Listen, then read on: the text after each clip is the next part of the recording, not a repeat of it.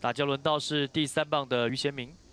刚刚那个球，于先明打的那个一垒那个边线的滚地球，如果一垒手黄俊凯能够更积极一点哦，再往前一步，那个在界内接到了，又取得一个出局数。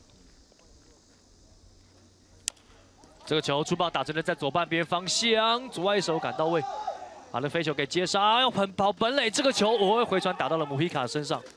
哇，穆西卡速度真的是快，超快啊！嗯，呃，这个这么浅的飞球，结果他还是跑回本垒得分，而且还让对方又发生一次守备失误。我猜这今的收在哈传不好，所以这要注意。